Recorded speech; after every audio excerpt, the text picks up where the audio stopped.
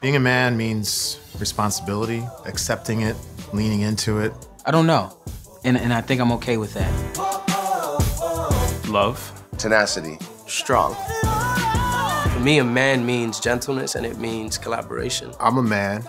I told my son it's okay to cry. My dad never told me that.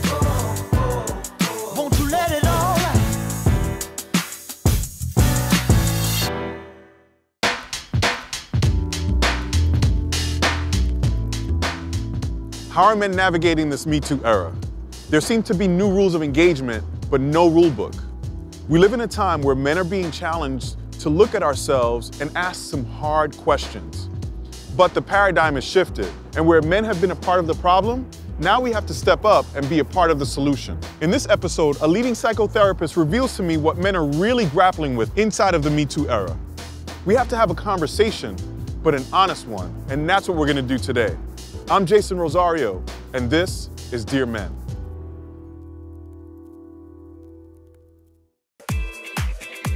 I was always a ladies' man. I'm not gonna lie. I always had a girl. Some of the reaction of the Me Too movement can to me feel like an attack on men. There is no rules. It's just such a gray area. I was always honest with each each and one of them. I always said, listen, remember, I'm not your man. I'm gonna always have another lady. You okay with that? I'm okay with it. I learned very quickly in life that a woman has just as much authority as a man. Yeah, I take cues from them. I take cues from their mother. I take cues from the, the women I work with. I don't err on the side of like, you know, signed releases. It's kind of like, are we okay? You know, it's kind of like a physical body language type thing. I'm scared of what the other person might interpret my actions as. You will know if you're if you're present and sensitive to that, you will know whether or not to stop or go. I want women to get what they're supposed to get because I, I, trust me, believe me, I want them to get that. But does that stop me from being a man? I think that's the question, and that's where I get stuck. Avi Klein is a psychotherapist based in New York City. He's written in the New York Times about how the Me Too movement is causing men to reevaluate everything. Men are grappling with, at least for the first time in my lifetime and in our lifetime, our toxic behaviors and how we're showing up in, in our personal and professional lives. Mhm. And you do a lot of work with men. Yeah. So I'm curious to hear what men are telling you Yeah. that they're not comfortable speaking about in public. I think men are looking at the headlines and looking at the news and seeing parts of themselves in those stories. You know, men are really trying to make sense of things like consent Mm. and when they've pushed uh, the boundaries around that and when they have not been attentive to the women in their lives and their pain and have kind of looked for their, their own pleasure at women's expense. I think that's that's the thing that stands out to me. Uh, What, what's a particular story that stands out for you? Particular story that stands out for me would be this one young man that I worked with who, uh, after working together for a while, kind of tentatively shared with me that there were a few women in his life um, where he had really made things sexual if they weren't sexual, and then years later he's sitting with this uh, guilt. And it's amazing to me because I do have a lot of conversations with men who are taking inventory of, of their lives Yeah. and going back to periods where they were unsure. Yeah. And they were like, was this gray? Was this right? Was this wrong? Yeah. What, how, how do you have those conversations with men? I think um, with a lot of empathy. Yeah. I think it's really hard to, to do. And I, I really respect anyone who's doing that self inventory. So I try to make that clear to people Yeah. um, first and foremost. Because I think part of the reason they feel so uncomfortable is the way it's talked about in the culture. It's like you're a monster, you're a horrible person, you hate women. And that's not the That's case. That's not the case, right? And that's what I'm interested in is like, how do you make sense of people who you love women, you love the women in your life, and you've hurt them at the same time. And I think it's probably it would be a rare man who hasn't who hasn't done something like that in some way. Yeah. Let's talk about Me Too. Yeah. One of the things that I'd like to see the conversation evolve towards is this concept of restorative justice. Yes. And and forgiveness. I'm with you. Is that something that's happening? Because I know it's happening behind closed doors with my own friends. I think that that's a framework that is really helpful in my work because I think, yeah, if this is just about what have you done legally and what's the punishment, then you're really missing the humanity there. And that's that's what I think of when I think of restorative justice is how do I make things right between the two of us. And there's nuance in everything, right? It's when you think about the look, and I'm not making excuses for some of the more egregious behavior. Yeah. But what I'm think what I'm saying is when you look at case by case, there are things that uh, I think we can explore and understand the nuance before we make an indictment of. Yeah. And we live in a society where, unfortunately, the court of public opinion is less forgiving than the legal system. Yeah. So how does one recover from something like that? I mean, I don't know how uh, you'd have to ask a PR specialist like how you recover Right. your your reputation, but between people, right? What I've seen is that it's really important when I work with couples and when I work with individuals.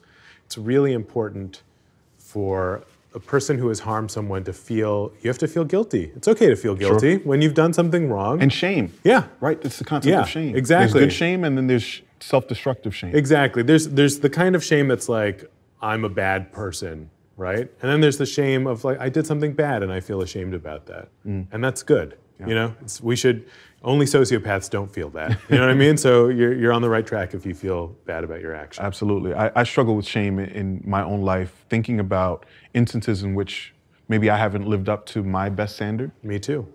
Me too. How do you struggle? I mean, what what's your struggle been like? Uh, you know, it's the beginning of accountability. Mm-hmm. You know what I mean? I think it's okay to uh, to sit with that, and that's your conscience at work, right? That's telling you what um, what can I do differently next time, and and maybe part of that is making amends with the person you hurt. That's a big piece of my work. Is that men have not learned how to feel their feelings. And so that's kind of like the first step is getting in touch with what, what am I feeling about this stuff? Right. And a lot of that is just kind of gaining awareness. What's your, what's happening in your body? You know, oh my stomach's tight. I'm right. That's anxiety. It's like nobody ever taught them that, um, right? Or I feel this. There's something moving up my chest. I feel flushed in my my face. Like you might be about to cry. Right. There's sadness coming up, Right. and people really need to learn that and and get used to it. Agreed. And unfortunately, it's just that as men, it's a double whammy. We are taught not to emote, Yeah. or that it's bad to emote. Yeah. And then the only emotion that's worthy of expression is anger. Right. So how how do we even begin to re-socialize men to accept that anger is a healthy emotion uh, as long as it's not tied to aggression. Right. But how do we give men the ability and the freedom to explore the full depth and range of how they might be feeling and even thoughts that may come up that they feel shamed ashamed about? I think we we kind of all have to have a conversation with ourselves and with each other. Do we want to hear uh, what else men are feeling besides anger? You know, because I think some women don't want to hear that either. That's a great point. You know, uh, I think everyone kind of likes the idea of a strong man at times, Yep. and some people get really scared when they see that strong man cry or get shaky. And I think as a society, we have to learn to be okay with that. One of the things that I'd like to touch on is the idea of consent. Mm-hmm. I read an article that men in corporate spaces are avoiding women like the plague. Yeah. They're not having business lunches, they're not comfortable having closed door meetings with women Yeah. because somehow they feel like it's you're you're running the risk of being falsely accused. men should really wake up to how much slack we cut them because it's like um, you know when we talk about consent sexual assault things like that we often have a conversation where it's like well uh, you know why didn't she leave why didn't she say no and we're never like well why did he do it you know what i mean and and we know most men don't do it but so i think if you for starters like you might want to work as a man on uh, reading your partner. You know, does someone seem uncomfortable? Can you tell if a person is uncomfortable? I think men can. Absolutely. And if you can't, um, you want to examine that. You know what I mean? That you don't need to avoid someone because you think you're not going to know, you're going to totally misread the situation. Yeah. Let's talk about Louis C.K. for a minute. Sure. Because I know you were back, Yeah. started doing shows, and taking a lot of backlash because the idea is that he, or the feeling is that he hasn't done the work. Right. What are your thoughts? he kind of came back and seemed to be hoping to just brush it under the rug um, and that people would just forget about it um, and he wouldn't have to address it. And for someone like him in particular, it's un, it's unjust anytime, but for him in particular, where his whole reputation is based on telling the truth and looking at himself, and oh, here's this big thing that I don't want to look at and don't want to talk about. It kind of makes him seem inauthentic to me, and I was willing to f- to forgive him or to have a new relationship with him. Sure. Um, if he could kind of regain my trust, but he hasn't done that yet. What is your idea or your definition of a good man? You know, I think about that a lot.